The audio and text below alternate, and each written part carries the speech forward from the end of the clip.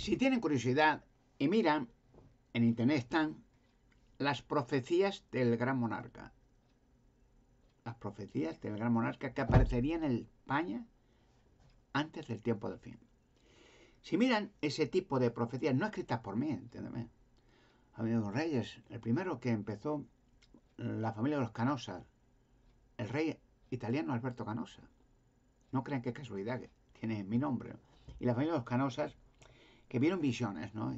Que, que en España aparecía en el tiempo de un tiempo de crisis, un gran monarca, descendiente directo del rey Alberto Canosa, que haría grandes descubrimientos, grandes eventos, que, haría, que, que, cambiaría España y que haría grandes, grandes obras y que medio mundo lo seguiría. Pero no, no, solamente el rey de Italia, luego otros reyes de Escocia, de Irlanda, de, Inglaterra, de Francia, España, Portugal, escribieron en, diferentes tiempos referentes a esa profecía, vieron también visiones que haría descubrimientos sensacionales, que revelaría todos los misterios, etcétera, etcétera. Todo aluciendo al gran monarca y cambiaría España en su totalidad.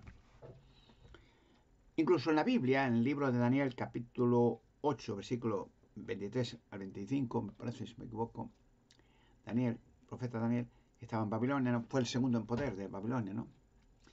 Dice que en el tiempo del fin, a la caída de estos reyes, cuando la maldad y, la inmundicia sea grande en la tierra, aparecerá un rey de fiero semblante, que entendería enigmas y misterios, y, y dice lo mismo, que haría grandes obras, grandes proyectos, mucha gente le seguiría, que haría grandes eventos, cambiaría la faz de la tierra.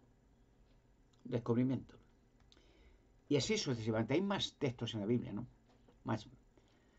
El tiempo del fin. Un tiempo que hemos llegado ahora. Pero no el tiempo, porque muchas veces se confunde. Tengo que aclarecer que cuando habla de tiempo fin, ve la guerra nuclear, la atómica, el meteorito que cae, mata. Eh, esas estupideces, ¿no? Pero ninguna parte de la Biblia habla de, un caos, que la tierra... No, no. De la maldad de la tierra y el fin de los demonios que han creado este sistema. Ese es el fin. Dios no tiene nada con... Eh, al contrario, gracias a Dios, la humanidad podemos seguir vivos. ¿Quién trae oxígeno, sol, agua? ¿Quién trae alimentos? ¿Quién trae vida a la tierra? Los gobiernos, los gobiernos colaboran para distribución de, lo que hay en la tierra para la humanidad, eso está claro. Pero la creación es de Dios. ¿Y Dios va a destruir la creación? Dios va a destruir a los que están arruinando la tierra. Lo dice la Biblia, que Dios va a destruir a los que están arruinando la tierra. En el libro Apocalipsis. Bueno, eh, en, otra palabra, ¿qué haré como gran monarca? Lo, voy a, lo digo reducido, porque tengo que decir muchas veces que, cada tema que podía hablar, podía hablar horas. Cada tema, fíjese solamente decir, sacar gigantes de rocas, con dónde están las rocas, cómo son las rocas, cuántas rocas, en qué parte del mundo, cómo se realizará. Podía estar horas desenvolviendo el tema de la roca, pero o podía luego la cueva de Hércules, en qué emplazamiento está, a qué subterráneos, dónde está. Hay que tocar eh, un tema en profundidad cuando se vaya a realizar. Que entonces lleve gente, lleve eh, personal especializado, lleve el gobierno, lleve gente, periodistas, para que ese documento se verifique rápidamente y todo el mundo lo conozca. Nada, en mi caso, materia reservada y alto secreto, nada, eso se acabará. Bueno, en resumidas cuentas, ¿Qué sucederá en España cuando estos documentos empiecen a desarrollarse? La Cova de Hércules, el Arca de la Alianza, la saque, imagínense qué impresión para, el pueblo de Israel, los judíos, los, árabes, todo el Arca de la Alianza que hizo Moisés en el desierto, la que estuvo en el templo de Salomón durante siglos. Qué impresión sacar gigantes de roca, los Nefelín, que estuvieron allí, que los padres los metieron, porque el diluvio iba a acabar con lo que hicieron los padres de los Nefelín, los demonios materializados una ruina en todo el planeta. El diluvio con agua de, mezclada con agua de, lluvia, con agua de mar, el agua salada subió hasta la parte más alta de la montaña más alta de la Tierra. Más de 6 metros a la montaña más alta. O sea, toda la Tierra cubierta de agua salvo la, la ¿Para qué? Agua de mar, salina, para disolver los efectos radiactivos que habían creado estos demonios, arruinando toda la faz de la Tierra. ¿Qué más? ¿Qué más va a pasar en España? Pues sencillamente estos descubrimientos ya he dicho muy, eh, eh, digamos, eh, no alargando el tema, sino muy reducido todo. Bueno, sacar dinosaurios, sacar, digamos, el cuerpo el cuerpo de Noé y su familia en España. ¿Saben que dice la profecía de la leyenda de Toledo que un hijo de Noé se le trajo desde el Ararat a fundar Toledo? Imagínense, cuando terminó el diluvio, no creo que le trajeran andando ni, ni en un camello, ni en una nave. La misma tipo de nave que trasladó a Elías a otro sitio, el profeta. Pero bueno, sacaré muchas cosas. Sacaré los cuerpos de los demonios materializados. Sacaré los cuerpos de las mujeres, esposas de los demonios, madres de los nefelín. ¿De dónde vino esas mujeres? Hay eh, diferentes emplazamientos en España. Luego empieza en España, se trasladará al mundo entero. Los mismos descubrimientos, los mismos eh, yacimientos, pero en otras zonas. Porque esto se hizo en todo el planeta habitado, antes del diluvio. Bueno, sacaré más cosas, muchas más cosas inéditas. Una de las naves del Salomón, la nave de Tarsis, que dice la Biblia que Salomón en España, que vino expediamente varias ocasiones a hacer la cueva de Hércules para guardar la mesa de Salomón con dos robots que la protegen. Esa mesa es un cronovisor para que se vea toda la historia de los crímenes del pasado, de todos los crímenes de la humanidad en cualquier tiempo. Qué impresionante ese descubrimiento. Y muchas más cosas. Ahora, la función Económicamente, España, como cualquier otro país, está en declive. Es lógico. Es verdad que el gobierno español hace el sumo bien, hace el sumo esfuerzo por colaborar con el Banco Mundial y, con el, Consejo Europeo de, las Naciones o lo que sea, un, un, extracto político de reuniones para que el pueblo español, debido a la pandemia, debido a lo que ha pasado, la crisis, la división, pues no fallezca de, crisis, de hambre, de, de miseria, ¿no? Sino que se hace lo posible, y veo muy bien, que hacen para que el pueblo español subsista.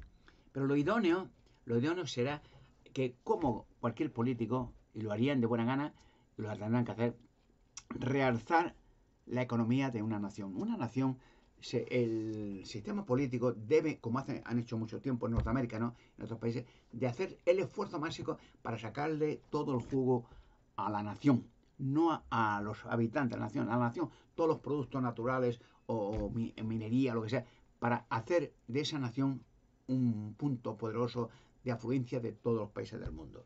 Como hacen, todo, como hacen Rusia, como hacen en Norteamérica, como hacen en África, lo, que pueden. Entonces España tiene muchas cosas por sacar. Pero estos descubrimientos va a ser la fuente de, de turismo y de divisas más grandes del todo el planeta. Ten en cuenta que hay, hay sitios que no tienen previamente ni, productos naturales, ni, ni, tampoco mucha minería, digamos, pero tienen petróleo. Entonces, estos países árabes que hace 100 años eran desiertos, o sea, en Cuba y Dakar, donde sea, pues ahora son los países más ricos y prósperos de la Tierra. Porque con el dinero, eh, con la ayuda de, de, maquinaria moderna, de un lugar desértico, hace 100 años, hoy hay las ciudades más modernas del planeta. De la misma manera, haré yo, con la ayuda de Dios, con España. España, estos descubrimientos va a ser una fuente de información y de atracción turística como jamás ha conocido el pueblo español. Lo cual quiere decir puestos de trabajo para todo el mundo. Se harán tantos arreglos para tanta gente que se pedirá por favor que vengan de otros países a ayudar para trabajar como se hacía antiguamente hace en los años 60 con Alemania, cuando se empezó a reorganizar el mundo para edificar de nuevo Alemania después de la guerra, pues, pues bueno, ahí se invirtió cientos de miles de millones y se pedían trabajadores de cualquier país, ¿no?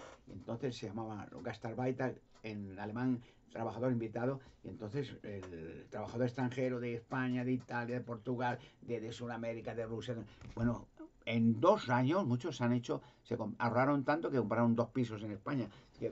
Entonces era una abundancia de trabajo, de necesidad, porque todo Alemania había que reconstruirla de nuevo para modernizarla y, olvidar el horror de la guerra. Lo haré lo mismo con España. Y España, claro, como hay, zonas en España que, son turísticas pero abandonadas.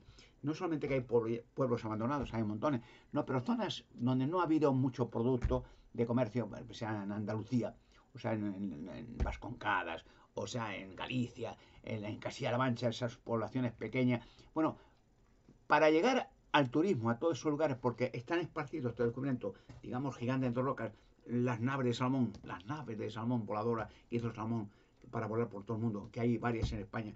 Eh, los, los nefelín, los gigantes, las mujeres, esposas de los demonios, que son mujeres transferidas del futuro pasado, todos esos emplazamientos muy variados, como la, el arca de la alianza en otro sitio, la, el arca, eh, la cueva de en otro sitio está, de tal manera que habrá necesidad de tanto trabajo, y claro, la afluencia turística dará divisas en cantidad sin fin, porque entonces habrá que restaurar toda España, aunque ya es modernizada muy bien, pero nuevas autopistas, nuevas carreteras, nuevos puertos marítimos, nuevos aeropuertos nuevos, o sea, todo habrá que ampliarlo de una manera para, para esa atracción turística tenga una acogida en España. Tienen hoteles de nuevo, edificarlo, ya tiene el turismo eh, consolidado en España desde los años 60, en, Las Palmas, en Tenerife, la Costa Brava, Costa del Sol, pero eso está, está lleno de, hoteles, está muy bien, además es, es sensacional en Mallorca, o, sea, en Benidorm o en Calpe, en estos sitios que hay un montón de, turistas, pues hay, hay los, los, lugares más bonitos, exóticos,